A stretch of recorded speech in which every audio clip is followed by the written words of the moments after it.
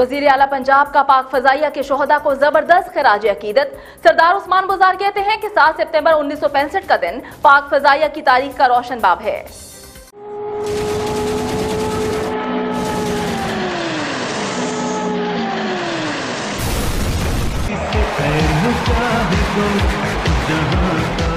वज़ीर अल पंजाब सरदार उस्मान बुजदार ने दिफाए वतन के लिए पाकिस्तान एयरफोर्स के शहदा की अजीम कुर्बानियों को खराजी अकीदत पेश करते हुए कहा कि आज का दिन तारीख में मिसाली हैसियत रखता है। पाक फिजाइया ने दुश्मन की फिजाई ताकत को नेस्तो नाबूद किया।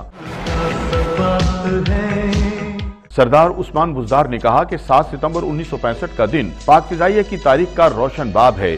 इस रोज शाहिरों ने जुर्रत शुजात और बहादुरी की अजीम दास्तान रकम की जिन्हें कभी फरामोश नहीं किया जा सकता।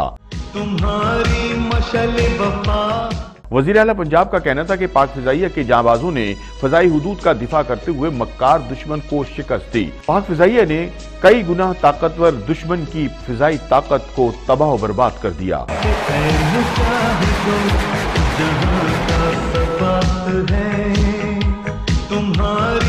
तुम्हारी मशल वफा